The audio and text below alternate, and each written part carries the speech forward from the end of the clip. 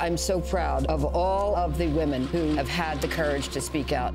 Rich, famous, powerful men have to understand there are rules, there are boundaries. They must respect those boundaries. This has got to end, and it needs to end right now.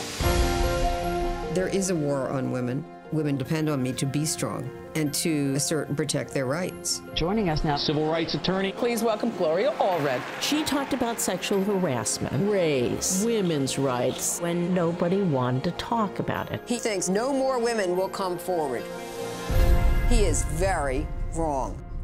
Power only understands power.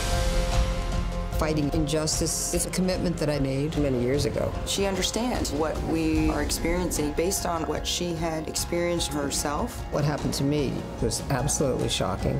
To this day, I can't even think about it. Is this getting too personal?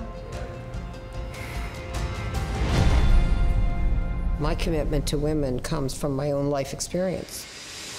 I have this venom toward Gloria Allred. Wherever you see Allred, you know somebody's lying. That's assault. That is assault. I think Gloria enjoys conflict. This makes her a great champion for us. People say she's loud, she's got an ego. She must just love the camera. She's trying to turn women into men. I think secretly you envy women and you fear them.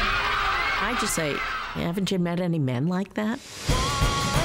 You should use these resources to arrest these fathers who are not paying their child support.